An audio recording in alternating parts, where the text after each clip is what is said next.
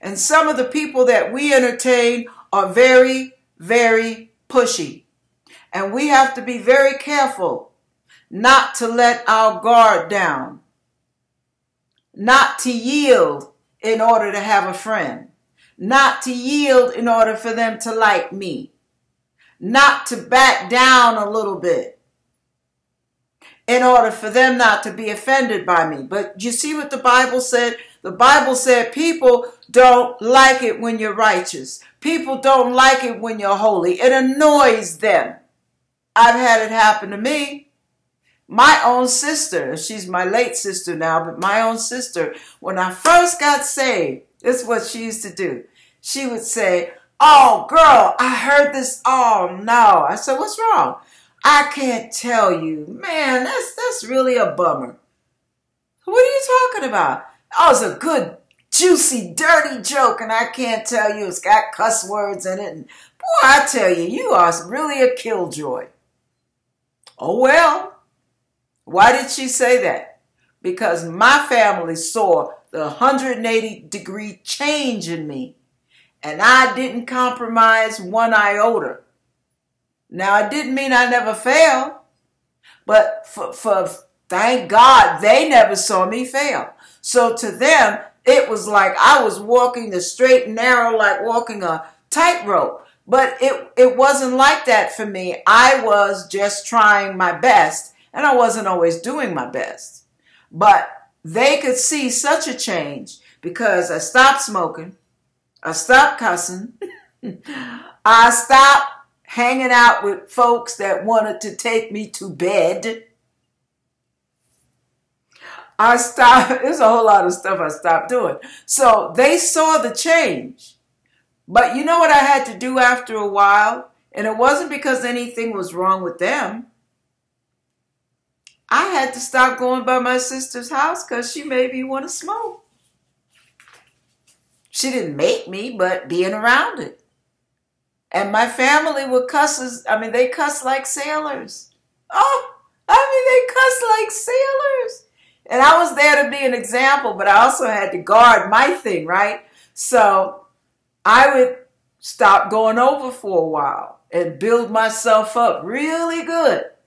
And then I would only go prayerfully. Okay, Lord, let somebody be touched by something I do, something I say. Other than that, I've got to curtail my visits. I hated that because my sister and I were so close, but I was so new and so weak. so anyway, so I had to do that. No, no, mine, mine. You know, I had to I had to be like that child that didn't want to lose her goodies. Didn't I just got them. I sure didn't want to lose them. okay. So, Another thing you have to watch out for. I noticed a, a, a lady I know years ago, she ended up with a roommate. And her roommate was really, really nice, really nice people. She had given her heart to the Lord. Unless she's talking to another Christian, you wouldn't really know it. Because that roommate stayed with her so long that she went all the way back to her cousin, all the way back to, you know, she wants a little piece of tail every once in a while. She'll go to, you know, her ex husband. You know, it just, she's lost her resolve. And see, one thing God showed me is cleanliness does not leave a mark. It leaves uh, it, it will leave an impact, but it doesn't leave a, a mark. Only dirt leaves a mark. Only dirt. So if you touch something with clean hands, you won't leave a mark. But if you touch something with dirty hands, everybody will know you just touched it.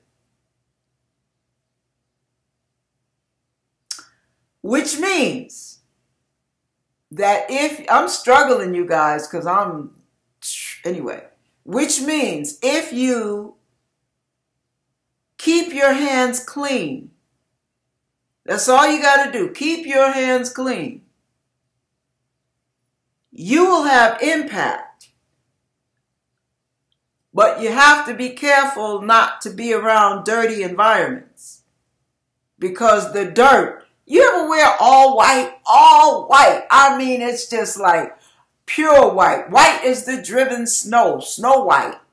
And you're walking around a place that's dusty and musty and crummy and icky and nasty and you're looking around saying, oh no, I wore the wrong clothes for this. Well, what happens? Before you know it, something gets on your arm, something gets, I mean, it just finds you. Dirt finds you when you're all white, when you have all white on. Don't ask me how, it just does. Well, it's the same way when you are in environments, you're at the movies or you're at a restaurant. Um, it can be very neutral areas where there's really not that much harm. But the crowd you're hanging with or the movie you're watching, yeah, or the person who wanted to take you to the restaurant is not just a friend. This person digs on you, baby. They like you. Okay? You're trying to get away from all of that and they're trying to reel you in. So even though it's a it, it's a nice situation and a nice setting, you have to guard what you do, where you do it, who you do it with, if you do it at all. Sometimes we think things are harmless. Some people read books. I mean, some of you are reading books that you shouldn't be reading. Some of you, when you hang with your family, you hang with them on their terms.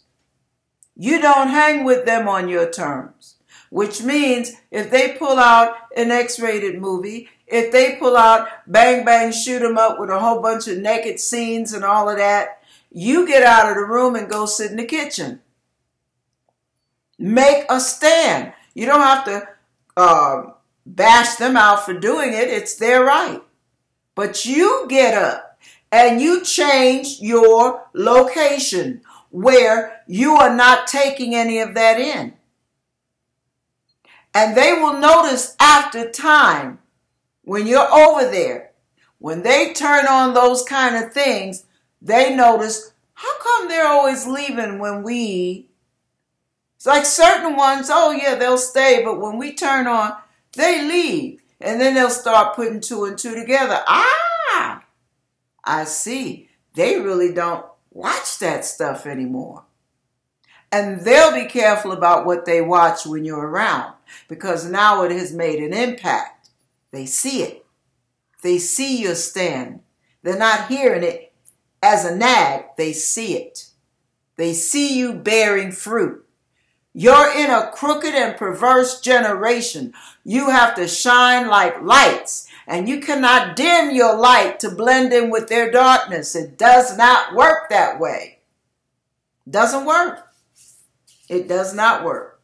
My niece told me one day, she said, when uh, when we were uh, yakking on the phone, and she said, "Aunt Pat, do you know of all the people in our family?" And I'm not bragging on myself. I'm trying to make a point. This is the impact I'm talking about. She said, Of all the people in our family that gave their hearts to the Lord, you are the only one, excuse me, you are the only one that sticks out in my mind.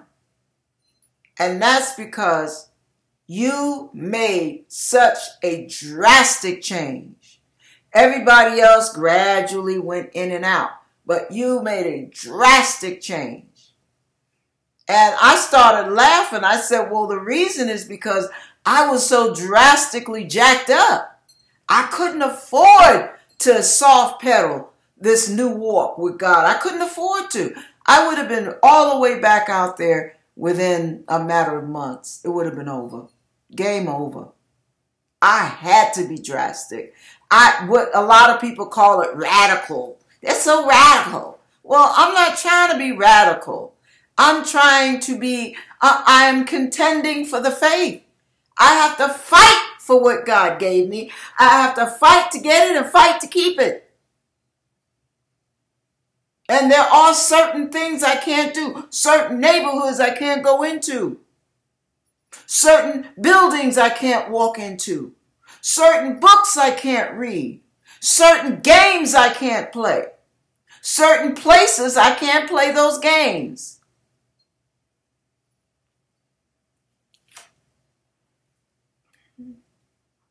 Certain dresses I can't wear. Certain blouses I can't wear. Certain types of jewelry, certain types of makeup.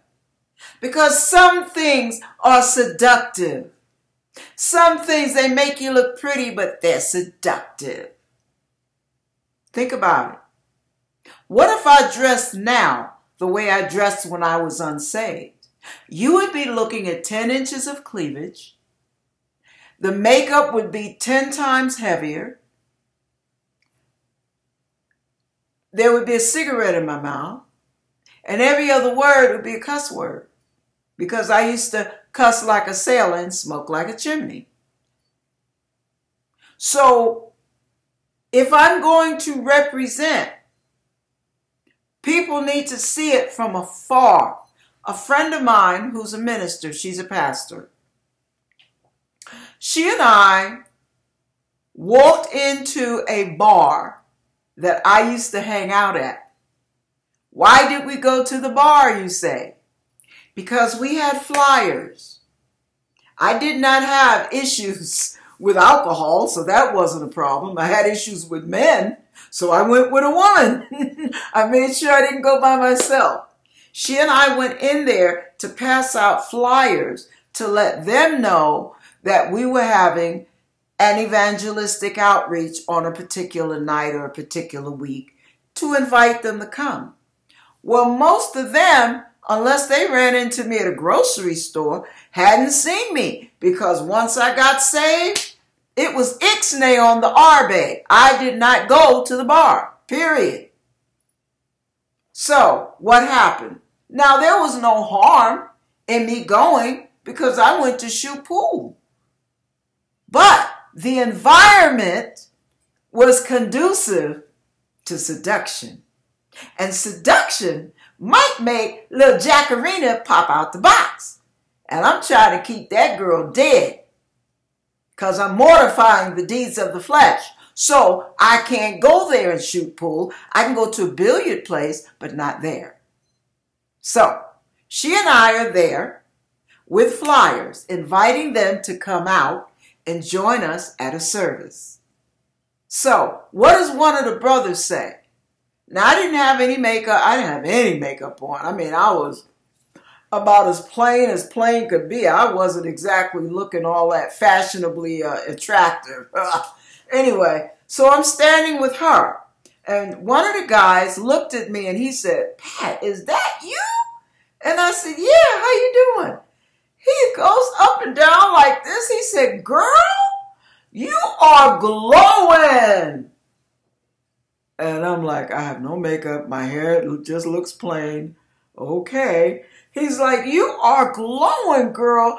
What happened? You're so different. You look so beautiful. You just, oh my goodness, what happened to you? I said, I got saved. I gave my heart to the Lord. He said, Girl, you can see it on you. You can see it. I said, So you coming? He said, Now wait a minute now. He wasn't quite ready. But he there was an impact. He saw the difference. All I said was, Hey, how you doing, so and so? And he turned around, Pat, is that you? So my point is people ought to see Jesus in you from afar.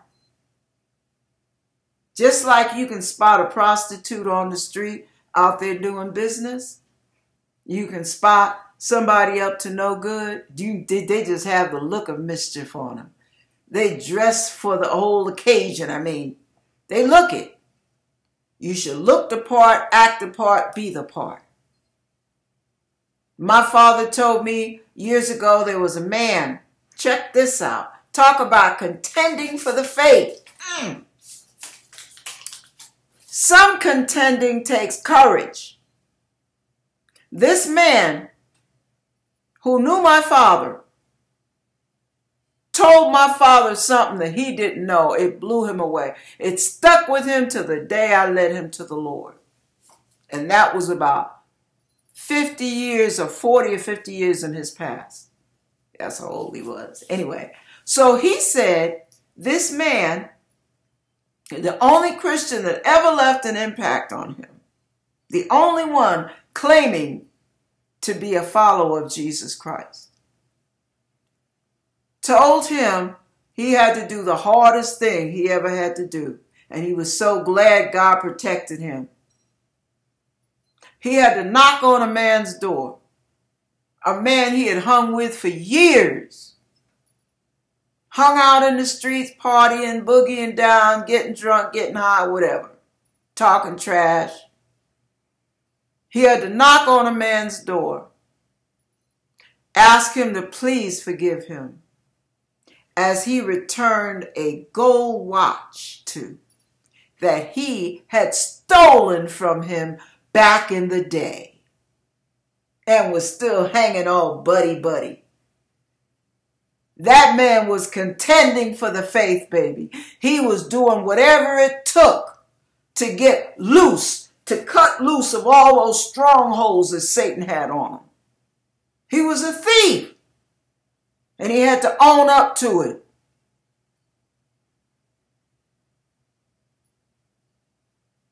Mm. Can you imagine how scary that had to be to go up to somebody you've been hanging with for five or ten years, knowing that ten years ago you stole this watch from them. You always made sure you didn't wear it when you were around them.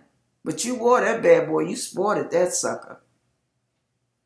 And you smiled in their face. Smiling faces sometimes pretend to be your friend.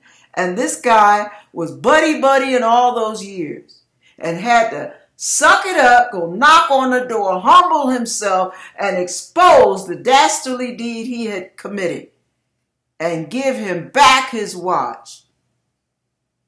The man didn't even know he was the one that stole it. Ah! Mm. See, when you contend for the faith, you will do whatever it takes to stay free. Because it means that much to you. You don't trust yourself. You don't trust them. And you sure don't trust him, the devil. So you have to do whatever it takes to contend for the faith. I remember one of the guys I had seen, hadn't seen him for a while. He came knocking on my door. Now, you know what he's knocking on the door for, don't you? Yeah, he didn't come for play. He came for a roll in the hay. And I had to talk to him through the door. Sorry, Charlie. Stores closed. Out of business. I mean, he was just, you know, one of my running buddies. We just do that every once in a while. And he was like, Well, what's wrong? You know, you got you a man? I said, No, I'm in Jesus Christ now. I accepted Jesus as my Lord and Savior. I wonder why I haven't seen you around. Yep. You want to find me? I'm in the church. Well, well, let me just drop in for a nope. Sorry, Charlie, can't come in. I would not let that man in my house. I wouldn't open the door and talk to him in the door. Nope, he got the voice through the wood. He was not getting in my door, wasn't getting a foothold. It's, yeah, sometimes it's just that desperate and that drastic. It's that extreme at times. Do you trust yourself to warm yourself by the devil's fire? You really trust yourself to go that far? I couldn't. I couldn't. I knew me. God showed me me so crystal clear that I knew this weakling was not strong enough to handle the slightest little indulgences. I couldn't afford it. Could not afford it. And some of you can't. Some of you go golfing with your buddies, and you know when you go golfing, they're going to be talking some trash about some ladies. Yeah, they're going to be talking about some booty. Yeah, buddy. A catch they just got last week and how good that was in the bed. And you are either going to sit there and laugh and go along with them, or you're going to make a stand and you're going to say, I'll catch y'all. I, am going to go um, over here, grab a uh, whatever, till y'all get through talking all that nonsense. I don't want to hear that. Well, wait a minute. What happened to you? Oh, you know what happened to me, brother. I'm saved. You know, I ain't playing that no more. And I sure ain't gonna take no chances here to get me all hot and bothered. I'll see y'all later. And they see you trying. They see you pursuing holiness with all your might. You're not putting them down. You're letting them know you can't handle it. Catch you on the rebound. What stand are you making? Are you really contending for the faith? Do you turn that internet off when something pops up you shouldn't be looking at? Nobody can see you. Nobody's around. You can if you want to. But do you? Hmm. Don't answer too fast now. Don't want you lying. Now we all blow it. I've had plenty of failures. But how many more failures, how weaker my, my walk had been had I not worked on my foundational faith with all my might first. Everybody falls short of the glory of God. They'd be lying if they told you they didn't. But how often? How easy is it for you? Hmm. When you go out, how you dressing? Do your clothes look like a child of God or do your clothes look like the way you always look before you ever knew who God was? How is your conversation? Are you gossiping like you used to gossip? Girls sitting around talking about sister so and so and the woman down the street and who she's screwing behind her husband's back and y'all up there quack quack. I knew it, I knew it, I knew it all the time. Are you in on that? What kind of example are you setting? Are you in on that?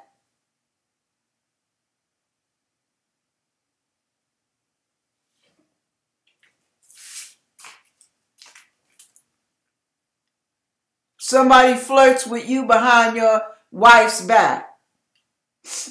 Somebody telling you how fine you are. And you're letting them know, I'm married. But guess what? what does the woman say? Well, what does that have to do with it? I'm talking to you. And you're sitting up there getting all big chested. somebody finds me handsome and hood debonair. yeah, right and you getting off on it. Instead of shutting that whole thing down and getting the heck out of Dodge. I remember when we were at a meeting, we had overcomers meeting, and I had to I had to give a prophetic word. And I told uh, the whole group, it was men and women, it was a co-ed group. And I said, now, God just gave me a word. I don't know who it's for. So, whoever it is, I hope you really take heed to this warning. But God is saying to me to say to you, one of you sitting here has got a female friend, and you're trying to save your marriage, And this female friend is just a running buddy. It's nothing to it. You're not doing anything. You're not flirting with her. You're not going there. However, if you continue with this friendship, it will go there and blow up in your face. Not only will it blow up in your face, you will lose any chance of ever saving your marriage. You will lose the relationship with your kids. And this thing will blow up with repercussions that will last you almost 25 years. It was just that specific. Now, nobody said anything. Everybody was on the down low, real hush, hush, hush. But after everybody left, one of the brothers came back and they said, uh, Are you in a hurry to get home? And I said, No, I, I said, uh, I said, Milton's good. He's, uh, he's already had his dinner. Uh, well, I just wanted to, uh, tell you that man you were talking to was me. That man, I'm telling you, it's the smartest thing he could have done. We got through talking and he got through sharing how he was starting to get attracted to her, but he hadn't done anything, had no intention of it, but he was attracted and he knew she was attracted to him, but he was shining that on like he didn't even notice it. He took heed and cut that relationship off like it was a gangrenous, a gangrenous leg. Cut it off. Cold turkey. And what, five years later, I'm out with Milton eating. And who do I see coming up to my table? But the man and his wife. And they're back together and doing great. You know how that made me feel that God used me for something like that? But the thing about it is, he listened, he paid attention, he did the drastic thing. Hurt feelings, whatever had to incur, he did what he had to do. How many of you are willing to do those drastic things? To contend for your faith? To guard what God has given you? To guard what God has done in you and to guard your fruits of righteousness that you have already started to bear. Mm, okay. Father, I pray right now that you get the point across. If I didn't do that good of a job, please, Father, get the point across. Make it plain if there's anything I didn't touch on, Lord, touch on it in their private prayer time. In Jesus' name I pray, Father. Only your anointing breaks the yoke, and I pray that you anoint whatever they've heard and let it break yokes, Father, in people's lives, that they don't allow the devil to use other people to spoil their feast of charity, to come in and weasel into their life and cause problems and, and separate relationships and wreak havoc and cause strife and anger and lust and whatever else they could do because dirty people leave a mark. And I ask you, Father, let them know the difference between a person who is there as a friend and a person who is bearing filth everywhere they go, carrying dirt, spreading mud, mud slingers. Help them know the difference, Father. We know there are people out there that are harmless. They just need you. But there are other people out there that are venomous. And we ask you to give us discernment Give us discernment to know what activities to participate in, whether to go to a barbecue or whether not to go to that barbecue. Help us not get caught up in wanting to be liked, but to get caught up in wanting to please you. In the name of Jesus, I pray, Father. Thank you, Lord. Thank you, Lord in Jesus' name. Amen.